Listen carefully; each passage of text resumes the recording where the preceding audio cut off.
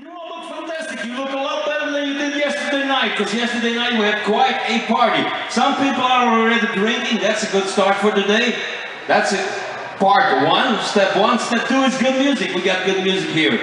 Good looking, talented. But enough about me. Let's talk about this band. They're one of those new bands. There's always new bands coming in the rockabilly scene that are doing a great thing, and that's what we need. New blood. These guys are new rockabilly blood. All the way from France, all the way from Paris. Ladies and gentlemen, put your hands together for the Howlin' Jaws!